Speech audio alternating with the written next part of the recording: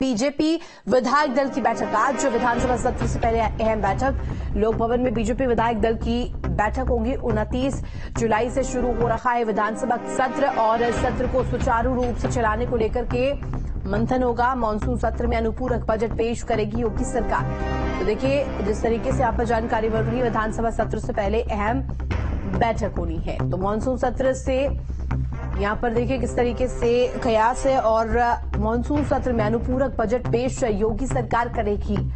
उनतीस जुलाई से शुरू हो रहा है विधानसभा का सत्र और इस लिहाज से ये जो विधायक दल की बैठक है, कई महीनों में अहम बताई जा रही है। शुभम हमारे साथ कनेक्ट है लखनऊ से। शुभम बीजेपी विधायक दल की बैठक आज होनी है। क्या कुछ अपडेट इस पूरी बैठक को लेकर के और इसके अलावा मुद्दे क्या रहने वाले हैं?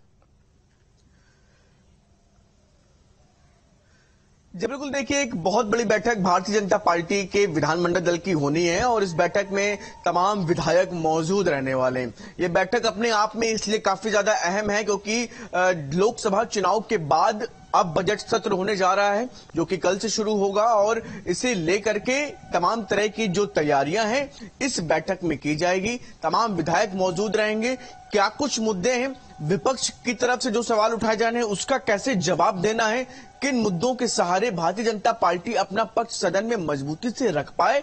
इन तमाम चीज़ों को लेकर के ये विधान दल की बैठक है और इस बैठक में इसे लेकर के रणनीति भी बनाई जाएगी।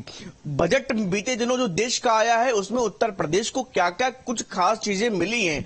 इससे संबंधित रणनीति भी, इससे संबंधित जानकारियाँ भी कैसे विधायकों को रखनी है? ये तमाम अहम मुद्दों पर चर्चा होगी। इसके साथ ही साथ, क्योंकि बीते दिनों उत्तर प्रदेश में तमाम ऐसी जो राजनीतिक हलचल रही है, उन तमाम सवालों के जवाब भी कैसे क्या देने हैं, आज इस बैठक में तय होगा।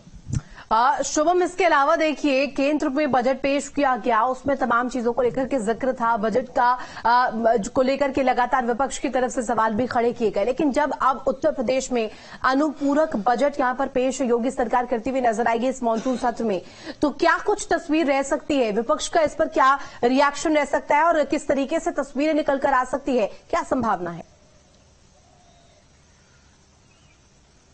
देखिए विपक्ष ने निश्चित तौर पर आप देखिए कि इस जब दिल्ली में भी बजट जब हुआ तो उसके बाद से सवाल खड़े करना शुरू कर दिए थे बजट को लेकर के कि उत्तर प्रदेश को कुछ भी नहीं मिला ये तमाम बातें लगातार विपक्ष के दल कह रहे थे इसमें खास तौर से समाजवादी पार्टी ये बात मुखर होकर के सदन में और सदन के बाहर दोनों ही जगह कह रही थी हम्म। और ऐसे में अब यही बात उत्तर प्रदेश के भी विधानसभा सत्र में देखने को मिल सकती है और हम्म। ऐसे में उत्तर प्रदेश की सरकार का प्रयास है कि उत्तर प्रदेश के चहुमुखी विकास बहुमुखी विकास को देखते हुए हम्म। बेहतर बजट उत्तर प्रदेश के लिए लाया जाए हम्म। लेकिन विपक्ष भी अपनी तैयारी के साथ मौजूद रहेगा तो लिहाजा उसके भी सवालों का जवाब बेहतर तरीके से और कैसे उत्तर प्रदेश के विकास को तेज गति के साथ आगे बढ़ाया जा सके क्योंकि लगातार मुख्यमंत्री योगी आदित्यनाथ कल भी जब दिल्ली में थे तो उन्होंने उत्तर प्रदेश को लेकर के साफ़ तौर पर कहा कि हम्म। उत्तर प्रदेश में असीमित संभावनाएँ हैं तो ऐसे में असीमित संभावना योजनाओं को किस तरीके से धरातल पर उतारना है विकास के पद पर किस तरीके से उत्तर प्रदेश को अग्रसर करना है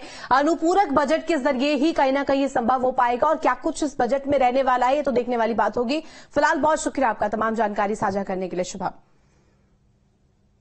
और कानपुर से इस बीच बड़ी खबर बता दें कल योगी बेटे